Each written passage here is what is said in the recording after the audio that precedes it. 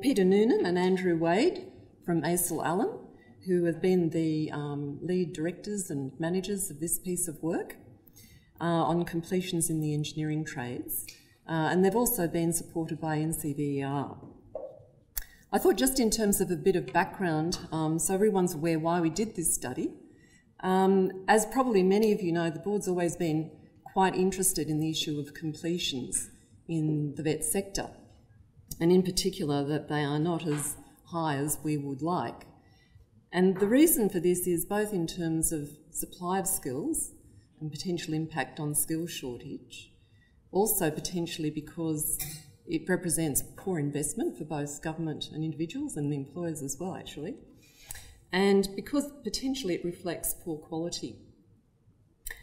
The other factor that was a bit of an impetus for this study was that there was a Senate inquiry into shortages of engineering and related employment skills back in July 2012. And one of the recommendations was actually that AWPA should investigate the issue of low completions in engineering trades. Now, although we haven't been formally asked by government to follow through on this recommendation, the board decided that it would do this work in any case. So they were the sort of drivers for why this piece of work. And of course, it's actually also very timely um, because it's now going to feed into the work that AWPA's doing on the engineering workforce in general. So hopefully to Barb and her team, it'll be a very important piece of work. So today, we're very pleased to have uh, Peter and Andrew with us. And in terms of the format today, uh, they're going to present the findings to us, and uh, we, are going to suggest that we just allow them to do that presentation, partly because we are filming today, and also because we have colleagues who are teleconferencing in, so they'll be looking at the, uh, at the presentation that they've been given, the PowerPoint, and then at the end there'll be plenty of opportunity for questions and discussions. Uh, I think, as you all know, the board, the paper is going to be formally tabled at our board meeting in February, and then we'll be disseminating it further. So I'd now like to introduce Peter, who I believe is going to introduce the research work, and uh, we look forward to your discussion. Thanks, Peter. Thanks, Marilyn. Um, colleagues who have worked with in the past from AWPA, Sue and Jennifer and others. Uh, really good to present today, but also um, to have been uh, successful in uh, being asked to do this piece of work, which we saw as being um, particularly important.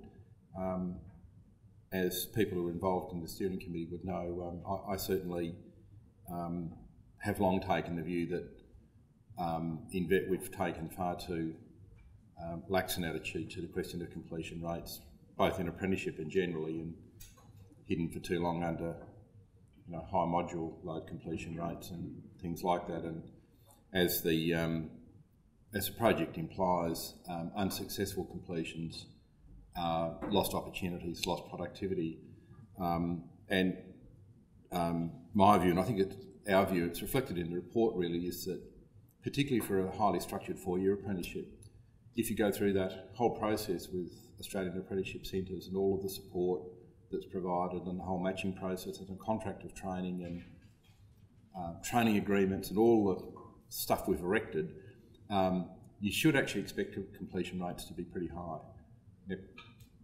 Clearly, people being young, they're always going to do odd and strange things and drop out, and they mightn't be the right employer. So, the reasons that we explore in the report will always lead to a degree of non completion. But um, we put quite a lot of thought into the strategies at the back of the paper, and I'll come back to those to talk about um, some strategies that might be further considered and possibly considered by the board and advising government about things that could be um, done to uh, uh, to further boost completion rates. Uh, Andrew will take us through the um, analysis and the findings. I just want to recognise um, the really terrific contribution of NCVER to the project in terms of the quality of the data analysis, reflecting on Jennifer's legacy, I don't know. it's a long bow. Um, they a very good, um, very good organisation to uh, to partner with, um, and I think the way that the NCVER now have really focused in on the on how you measure completions and the different ways in which completions are measured has actually finally brought a much better evidence base to the issue than has been there in the past. So I should recognise um, NCVER, they're not here today, but um, recognise their contribution in the project. And as I say, I'll hand over to Andrew now to take us through the analysis and findings, and I'll come back to conclude by talking about some of the possible strategies and why we think they're important.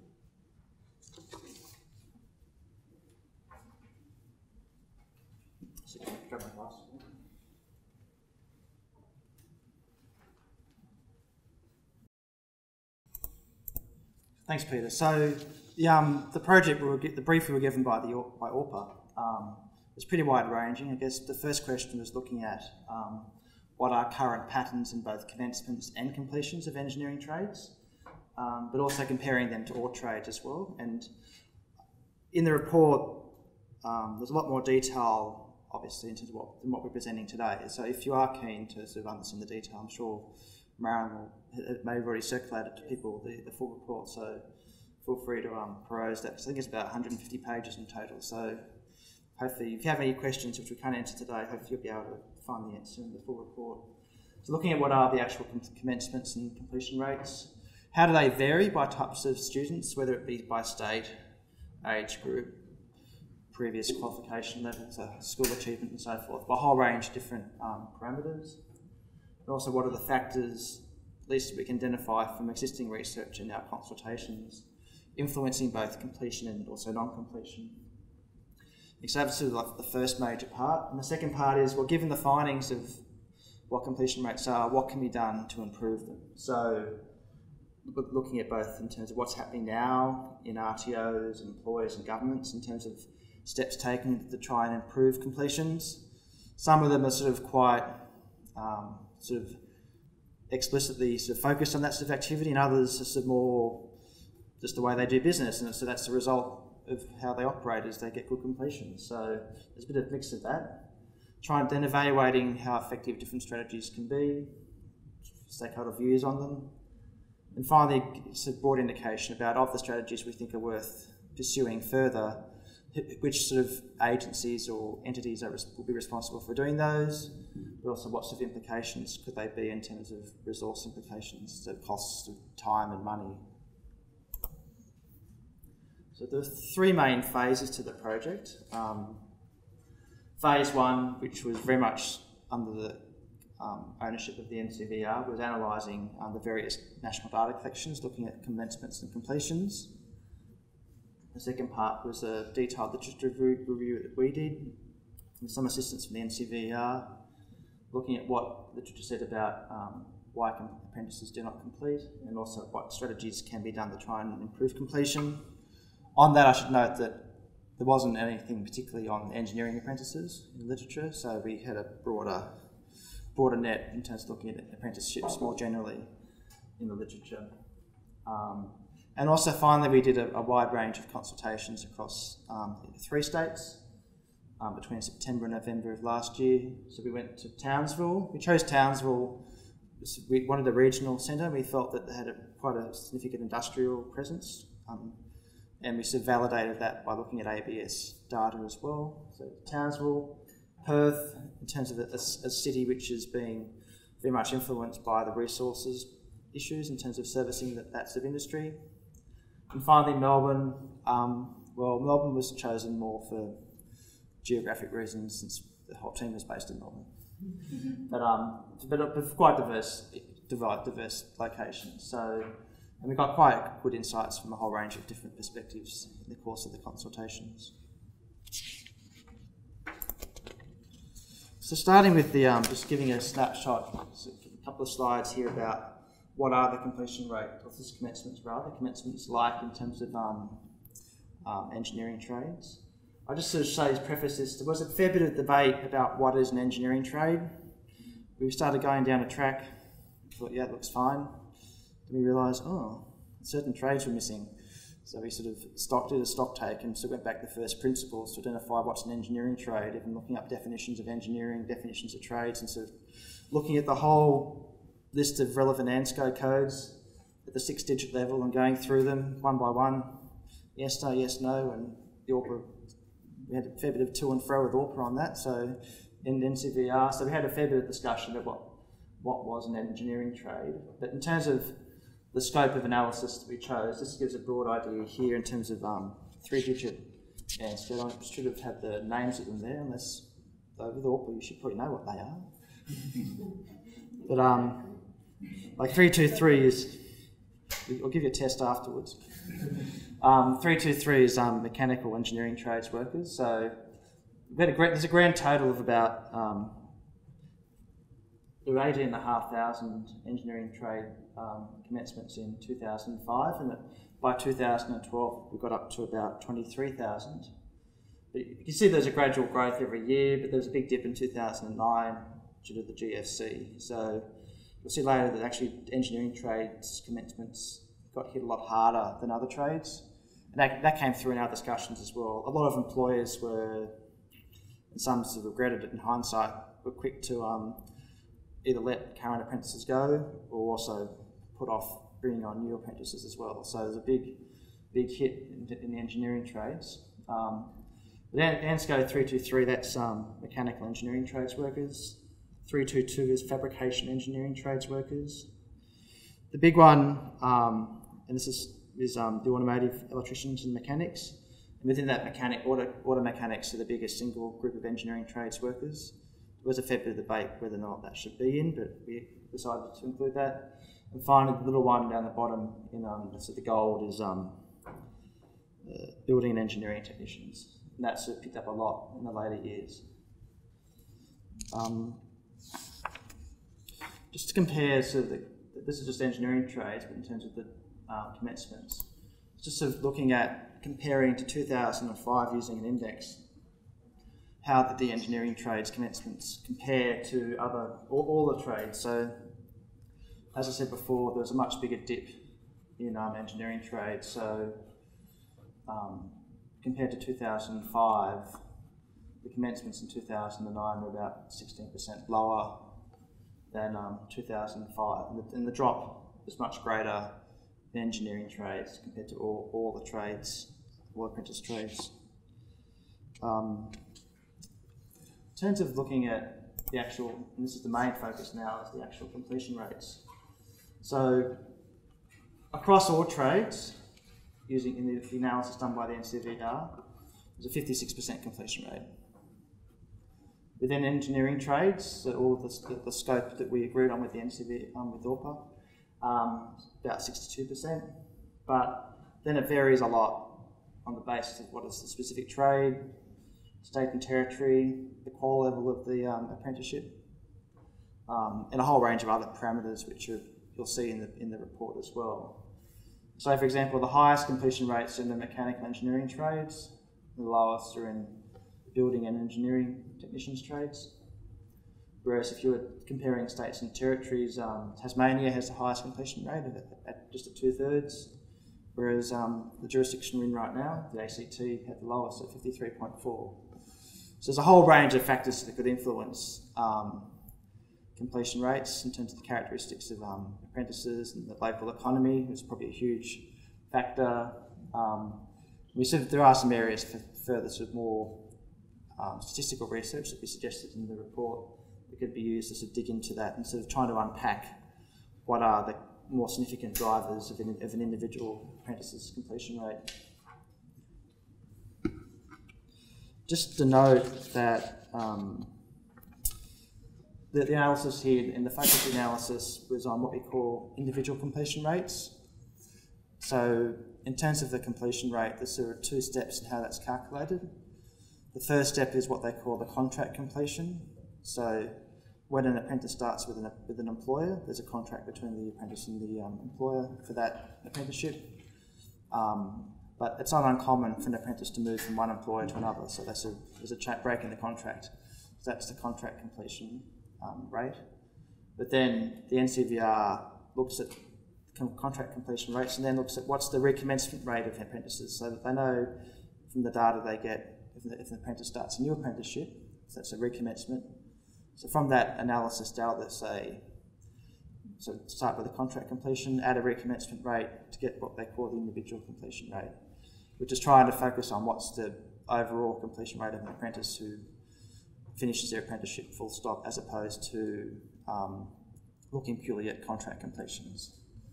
If you're looking at contract completions, that you get a lower, a lower estimate um, compared to the individual completions. Um, if you've got questions about that, it's a bit technical to ask at the end, but in the, in the report we try quite hard to give a uh, good explanation about that. In terms of reasons for non-completion, um, we're able to draw, well, the NCVER model was able to draw from their apprentice and training destination survey to look at this question, the 2010 um, data set. They tried, literally started looking as well at the 2008 survey, but the number of engineering trades were quite small in that. So there's a whole range of questions which the survey asks about um, why former apprentices did not complete their um, apprenticeship. The most significant one for engineering trades, and similarly for all trades as well, was um, being having lost their job or being made redundant by by the employer. So it wasn't uh, through their own choice; it was more imposed upon them by an employer. Doing something different or better is, is significant. Um, personal reasons. So there's a whole range of factors. Um, one area that's sort of got a bit of debate right near the end of our finalising our report was about the role of wages in the apprentice non-completion. That's only one of several factors we examined under the doing something better different category. So as you can see here, it's half the reason compared to having lost a job. So sorry, sorry, can I interrupt? To wage, does the wages question come after the doing something different or under poor um, the second one, doing something better in terms of getting better, get uh, moving to a different job for, for more money. Um, so that that. I think from memory there are three specific sub questions within that category analysed. Um, as we say in the report, it's sort, of, it's sort of difficult to sort of draw firm conclusions in terms of the role of wages per se, but we think generally speaking, it's more a factor influencing commencements in the first place.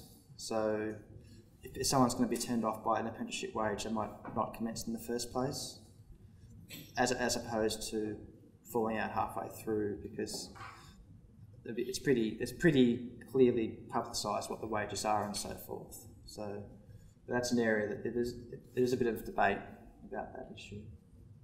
Um, that, that probably, um, know said we talk to about to make one point, which is that probably as apprentices older apprentices who are aware of who the, got families or family commitments, or they're passing on, say their late twenties, probably going to be more of that impact because they might be, they might have been aware of what their personal circumstances are going to be compared, to a young person. Um, so we just take that with a grain of salt. It is probably relevant to the age of the and, and the family personal.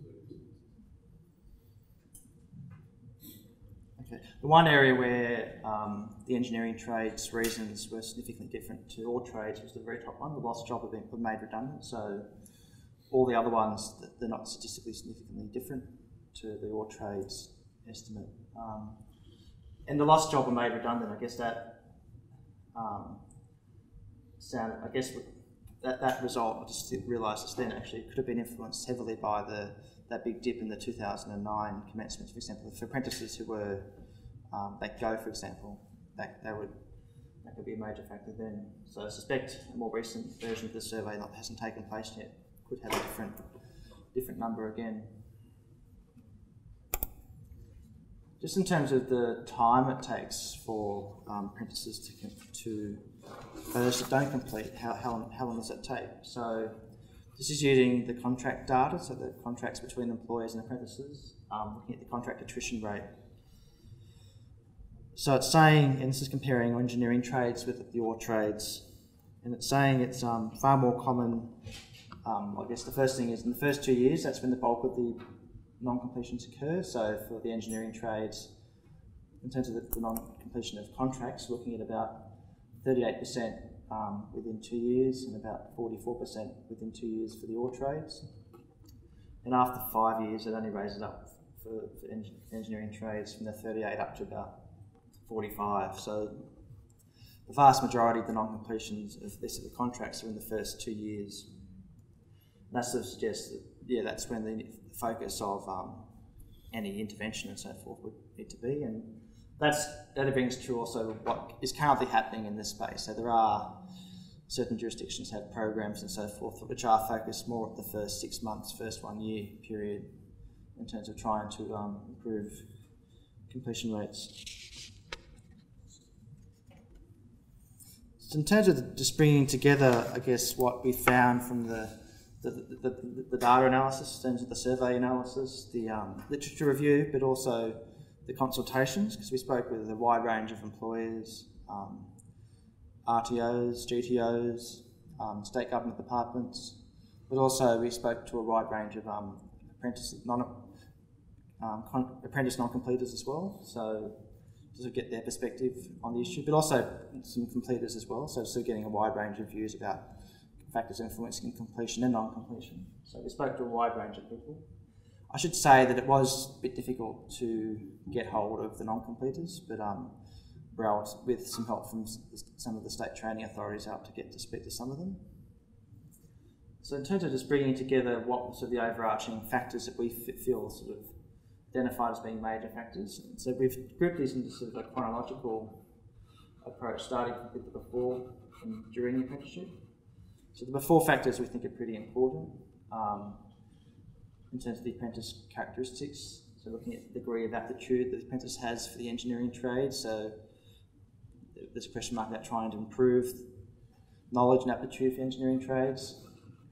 Educational attainment is a significant factor. So whilst it's not like high-end maths, for example, in terms of the engineering trades, uh, and it, there's a requirement for this recent degree of mathematical skill in running these big lathes and so forth and programming them, so they're reasonably complicated. Um, another important factor is the recruitment processes undertaken by employers to obtain apprentices, and particularly what sort of um, what the what how do they filter and assess potential apprentices as well. So they're the before apprenticeship um, factors, and during apprenticeship there's a whole range of factors that cut across um, the or four years, but more focused, we think, the first couple of years. So there are workplace characteristics and support factors, the degree of formal support provided by employers to apprentices, but not just employers, by the GTOs or RTOs as well. So there's a range of entities involved in providing support to, to the apprentices. How the employer approaches apprentice training in terms of um, providing the ongoing mentoring and training role within the workplace and also just the support mechanisms available to employers in terms of their supporting them undertaking their role as a mentor and a trainer of apprentices. In terms of formal training, so that's as undertaken by um, particularly the RTOs, um, it's the off, the off the job training requirement and making sure that it aligns with both the employer and the um, apprentice needs. And, and so there's been there's a fair bit of discussion about how well does that off-the-job training um, align with support with what's happening on the job as well? So there's an issue about how well they're aligned and working together. And finally, the issue about the apprentice remuneration. Um, wage progression over the course of the apprenticeship is seen as being reasonably important in terms of um, there being a recognition as apprentices move on about their skills developing and their productivity improving and how that flows through to their, their wages. But also, we think there's also a fact about just improving awareness about what are the wage prospects following the apprenticeship. So it does seem that for at least some of the non-completers, there's a lack of awareness or realisation about what is the expectation of wage growth and so forth once they do finish their apprenticeship. So there are quite good prospects once they finish, but it's a matter of finishing before they can get those awards. So the short-term pain versus the long-term gain is sort of the sort of a debate issue. So the next couple of slides, um, Peter will talk about in terms of the strategies.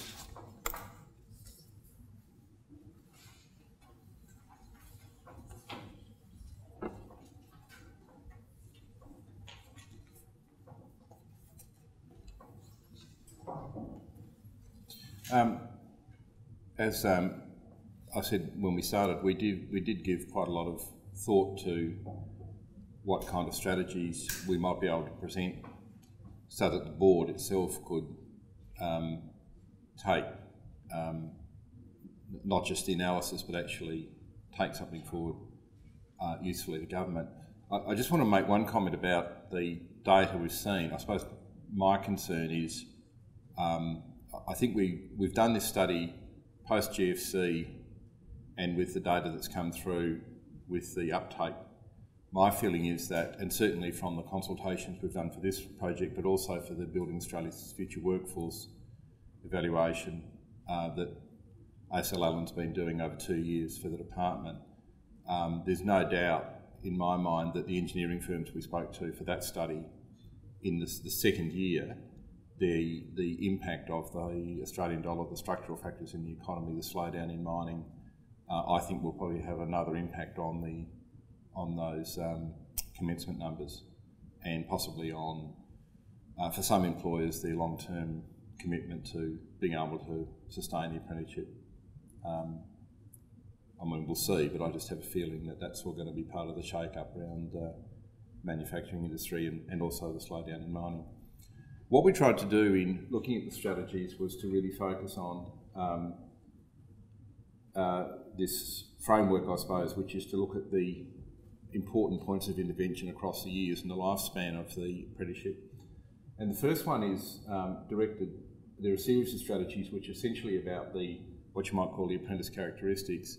Now, what's not so strongly in the report but came through pretty strongly in the consultations is also the question of literacy, numeracy, aptitude, and the general preparation of apprentices for um, entry to these skilled trades. Um, and it's it's a matter of conjecture whether, uh, and we canvass it in the report, whether you know standards are falling, or whether brighter kids who might have gone into an apprenticeship in previous decades are possibly going to university, and therefore employers aren't recruiting from the cream um, as I might. That's an area I think it'd be worth worth studying. Um, but what's unique about the engineering trades is that um, there's a bit of a coming together of um, a lack of preparation, both in terms of literacy and numeracy, uh, but also uh, skills and aptitudes and understanding of what these careers are. So if you look at other trades, if somebody says carpenter, bricklayer, auto mechanic, they've got a pretty clear idea what the occupation is. Engineering can, of course, mean, I mean, universities teach engineering, or we're still talking about boiler makers and fitters and machinists and all those things. Um, and of course, there's a lot of industrial resistance to changing these terms and changing these classifications, but almost unanimously, people were saying these terms are either not understood or can convey completely the wrong meaning. So if you say to a young person, you know, do you want to become a boilermaker? Well, no, who would want to be a boilermaker today? But in fact, if you look at the range of skills that are involved in the traditional trade of boilermaking, there's a whole lot of really interesting skill and quite high-paying jobs. Um, that fall under that. So for engineering, and this, this finding is very specific to engineering, there certainly needs to be an improved understanding of the range of jobs and skills and occupational outcomes. So I think for the Skills Council, for the department, for AWPA and so on, there is something about engineering that needs to be, uh, needs to be um, pursued. Uh, and it's, so it's distribution of high quality materials and so on. But if, also, if you look at the vetting schools numbers for these um, courses, they're pretty low, and uh, a lot of kids doing vetting skills courses aren't getting proper exposure to, um, particularly the better workplaces that might make them interested in the career. So a lot of apprentices seem to kind of fall de facto into these jobs in an incidental way rather than a planned and structured way. Um, similarly, in terms of support, um, what uh, we found was that there's a there's a very big difference between the employers who are uh, bigger and larger, have good HR departments, and have a long-standing and high-quality engagement with the apprenticeship system, with state training authorities, with the Australian apprenticeship centres, and so on. In other words, they really know the system, know how to work it, know how to present and package material. Um, we spoke to one terrific firm out in um, Melbourne where the the retired founder of the firm still comes to the apprentice intake barbecue on a Sunday with all the families and still gives a speech of welcome and meets all the mums and dads. And so the whole thing is a real commitment from the company to say you are the new recruits, you are the future of the company, and so on. Compare that to other um, examples where maybe in a small company the apprentice kind of stumbles in by accident and um, the, the, the employer's not really clear what's involved, etc., etc. So the whole thing kind of diverges at that point. Um, so um, the support for, empl- for and guidance for employers around HR practices, and Australian Industry Group is doing this as as is the um, Victorian Chamber of um, Automotive. What do they are? The Automotive Chamber, anyway, in, Victor- uh, in Victoria, are also trying to provide a lot more structured in support for their employer members. But both employer organisations will concede the problem is that people who tend to come to those workshops and participate are the, are the better employers anyway, so they're, they're still not getting to the employers who probably need the most support. Um, still also a lot of complaints from employers about complexity, paperwork, confusion, and um, so on. Um, probably the main thing we would really emphasise though is, is this question of uh, matching employers and apprentices so that um, you know, I'll be frank here. Um, at the moment, um, I think our judgment would be that neither the Australian apprenticeship centres nor the state apprenticeship bodies uh, are providing the kind of role that we probably had in mind when the system was first designed, where with the signing of the training agreement and that whole process it's meant to go on to um, match employers and apprentices and get a training agreement and make sure that they're um, choosing wisely and people know what they're getting into. Um, the impression is that the, the Australian apprenticeship centres are, are, largely transactional in nature, dealing mainly with administrative side of things and pushing people through. And the state training authorities these days have become, the, the, the role in this area is largely, largely residual. So they're receiving and processing training agreements, but um, there's not the same uh, support and advice and assistance to make sure that the matching process is really working for employers and apprentices who need it. And when you think about it, given our other findings around the importance of the workplace experience um, and the fact that that seems to contribute most to low completions or to people falling out, um, we would really emphasise the importance of better matching. Um, and that includes support and guidance for employers in recruitment and, uh, and selection strategies.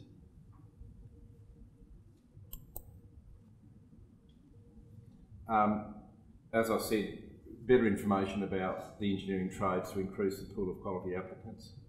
Um, and that basically means updated information on job roles and the range of work and engagement with students, parents, career advisors, etc., etc.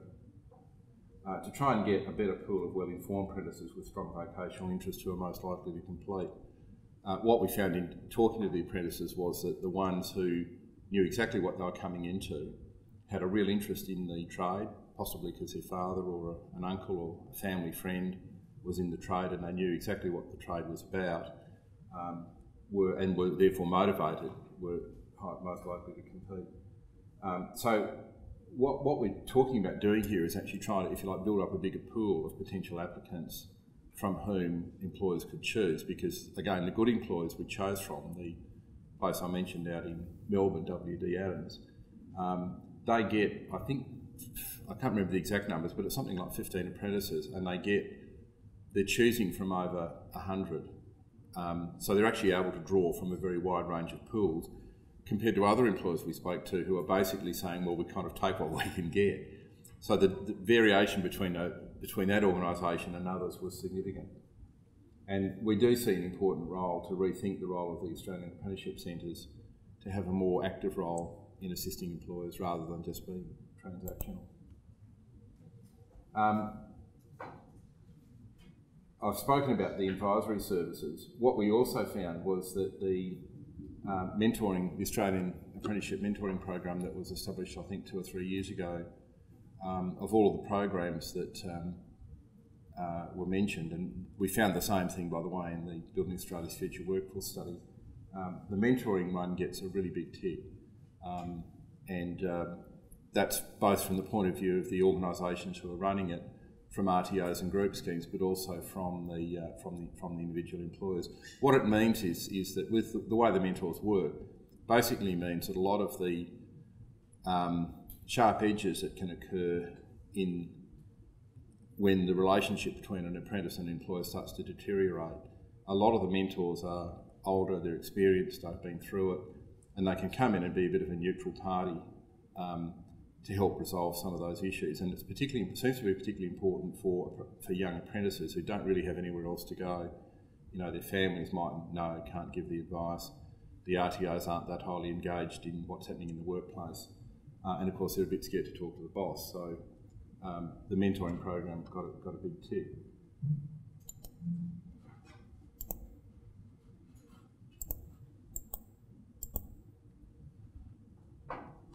What we uh, found was that training quality wasn't identified as a significant factor in apprenticeship non-completions. That's not to say that training quality was uniformly brilliant, but it's just that it wasn't because you because your TAFE for your private RTO isn't providing quite the quality of training that you might have expected. It's not actually forcing people to drop out. What it may mean is that they, they would switch RTO to go somewhere else. It's not ideal, but it doesn't seem to be a major factor in um, non-completions.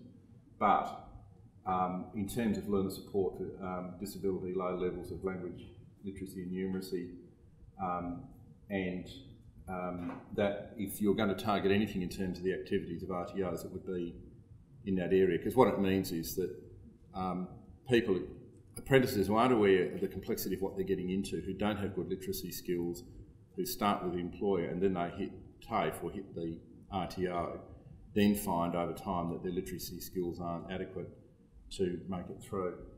Um, and certainly anecdotally, and certainly you know, if you look at NAPLAN and other things, there is certainly evidence about declining literacy in the pool of apprentices coming through. So um, the need for a continuing focus on literacy within the formal program, training program structure was also uh, important. Um, we'll wait and see what happens with the Fair Work Australia wage decision. Um, we sort of asked and we got very different views, even from employers. Some employers were saying wages is too low, we're happy to pay the extra, we'll get better kids and we're just going to swallow it and get on with it. Others, group training organisations are really worried in terms of the impact on their charge out rates. Um, it may um, play a role in attracting higher quality candidates and therefore getting better candidates, meaning that retention rate, rates go up. Uh, but it could also lead to some employers, particularly ones who are uh, facing a lot of cost and competitive pressures, cancelling contracts or opting not to take um, new apprentices on. Um, uh, as the point says, the consultations indicate wage levels are not a significant factor in non-completions, and that's because apprentices reasonably aware of what they're going to get into. But again, I'll just add my comment there about the age factor. So I think that's basically a bit of a, a wait and see one to see what happens. Um, although it might be hard to disentangle the impact of the wage decision from the general economic conditions. Um, and then I won't go through all of this in detail, but basically we've looked at um, the bodies that would be responsible for um, implementing the range of strategies that we've uh, put in the paper and the resource implications. Um, I think our general view is that a lot of this doesn't require a massive injection of resources, it just requires a refocusing of roles, a stronger emphasis of roles in some areas, a continuation of some programs, or a possible expansion of them. Um, but particularly better coordination between the Australian Apprenticeship Centres and the state training authorities um, at, at the front end and then, uh, and then during the process. Um, that's just the appendix with all the, all the definitions. So I think we'll leave it there and then take questions and discussion.